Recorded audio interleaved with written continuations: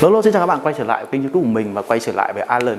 Thì uh, sau cái video mình uh, trải nghiệm nước hoa tại Alan thì mình với cả Alan có ngồi xuống và đưa với nhau cái ý tưởng đó là tìm ra năm cái mùi hương để hợp với cái không khí Tết sắp tới. Thì ngày hôm nay Alan đã chuẩn bị cho mình 5 mùi hương với cái nội dung như vậy. Và chúng ta hãy cùng xem đó là năm mùi hương như nào nha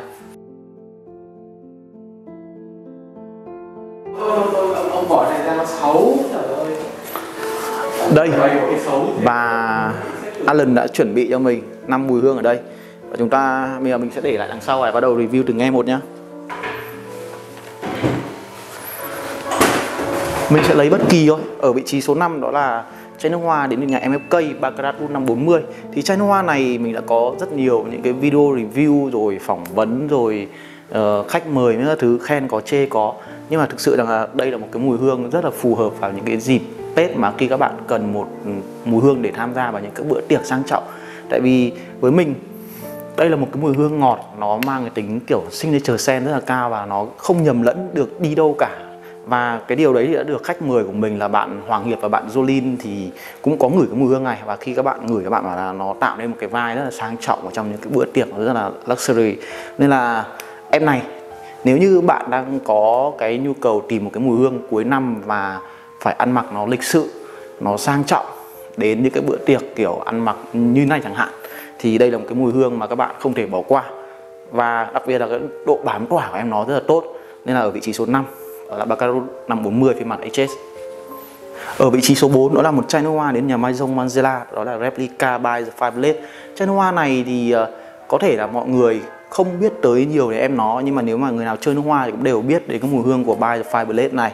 Thì uh, nếu như bạn muốn đón Tết ở một cái nơi mà một cái không cảnh nó khác, nó không gần gũi gia đình, hay là các bạn muốn, kiểu, đi du lịch, hay là đón Tết, đón năm mới ở những cái ờ, gặp những người mới lạ, hay là đến những cái vùng núi, kiểu, cắm trại thứ thứ, đốt lửa, thì đây là một cái mùi hương rất là phù hợp với cái hoàn cảnh như vậy.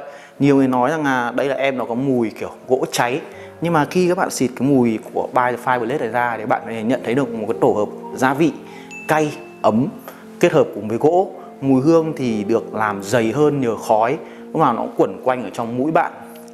Và thực sự là em này ban đầu ấy nó không hề dễ ngửi một chút nào. Nếu như mà để cho những người mới chơi thì chắc chắn là em nó sẽ không được đánh giá cao cho lắm.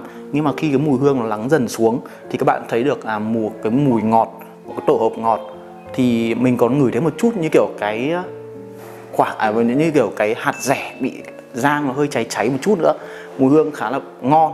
Về sau và em này thì mình nghĩ rằng nó rất là phù hợp với khung cảnh mà các bạn ngồi trên một cái sườn đồi như kiểu ở Đà Lạt nhá thứ các bạn đốt củi các bạn uống một nhâm nhi một cao nóng và ở trong một cái không khí lạnh lạnh xe một buổi tối thì By the Five rất là tuyệt vời. À, mùi hương này với mình có lẽ là nó khó tiếp cận nó cũng giống như việc là không phải ai cũng có thể đến ngày Tết thì người ta cũng thể đi du lịch ờ, không ở không ở gần bên gia đình. Thì buy the five blades đấy, nhưng mà khi các bạn đi xa, các bạn có những cái trải nghiệm mới và những ngày đó thì các bạn thấy rằng là nó khá là hay ho. Thì cũng giống như là buy the five blades khi mà bạn ngửi lâu, các bạn đủ kiên nhẫn để ngửi nó thì các bạn thấy được cái độ hay ho riêng. Và mặc dù cái dui ở đây rất là đậm, đây, nhưng mà cái độ bám tỏa của, nhưng mà cái độ lưu hương của em nó thực sự là cũng chỉ tầm hơn 8 tiếng một chút thôi. Nó không tốt được như mình mong chờ nếu như mà nó cải thiện về độ bám tỏa tầm hơn 10 tiếng 12 tiếng thì có lẽ rằng là đây là một cái lựa chọn rất là tốt trong mùa đông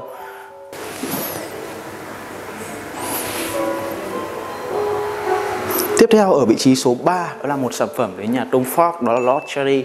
Nếu như hai mùi hương trước chúng ta đã có gợi lên những cái khung cảnh như là những bữa tiệc sang trọng hay là một cái tối đốt lửa, thì đây là một cái mùi hương gợi ra một cái màu sắc một cái màu đỏ rất là ấm áp rất là gần gũi. Mà mỗi lần nhìn tới màu đỏ thì mình nghĩ luôn nghĩ tới cảm giác kiểu sắp đến những ngày Tết vậy khi mà những cái câu đối đỏ các thứ được treo hay những lá cờ được treo ở ngoài đường ấy thì bông phóc lót Cherry là một mùi hương gợi lên hình ảnh à, gợi lên cái màu sắc rất là rõ.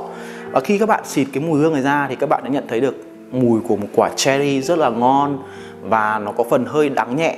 Cherry ở đây thì có cái xu hướng làm có phần hơi rượu một chút nhưng mà khi mà cái vị đắng nó dịu xuống, thì các bạn sẽ thấy rằng là những cái tổ hợp ngọt nó đẩy cái mùi cherry này, có phần mềm, ngon, và nó không bị, nó bớt cái cảm giác đắng và nó thực sự với mình. Đây là một cái mùi hương rất là nịnh mũi của nhà Tom Ford và đây, riêng cái quả tên thôi nó đã rất là, kiểu, thu hút người khác rồi. Nhưng mà trên khía cạnh là một người chơi thì với mình Lost Cherry tuy là rất là nịnh mũi, nhưng mà về cái độ hay ho, độ biến chuyển về mùi thì Lord Cherry đó, mình lại không đánh giá cao cho lắm. Và mùi hương này thì lưu ở trên da mình cũng ở mức chắc là cũng giống kiểu by Fabulous tầm 8 tiếng và độ tỏa hương nó tốt hơn một chút.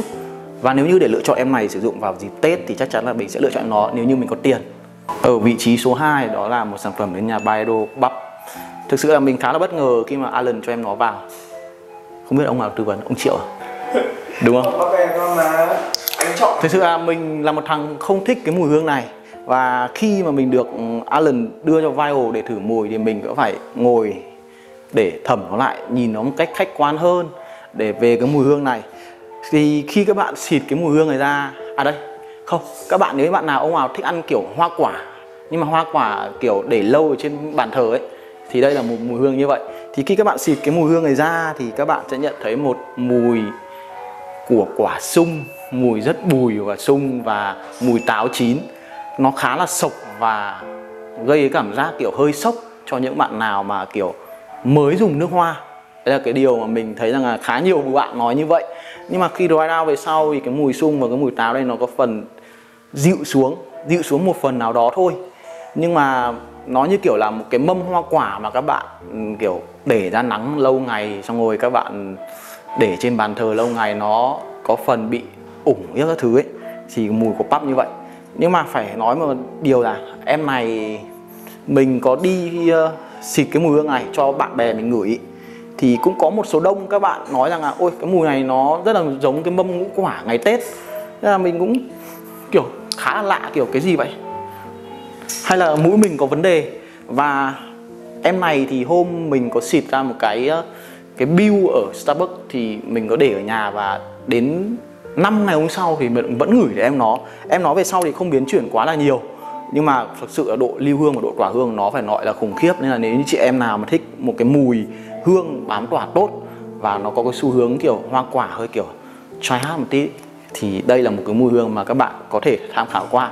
Còn nếu như bạn nào đã sử dụng qua mùi hương này rồi thì hãy cũng bình luận cho mình cảm nhận ở bên dưới nhá, để mình xem nào mọi người nghĩ sao về em này và cuối cùng đó là một chai nước hoa đến từ nhà Jo Malone đó là Miss Nightmare Amber.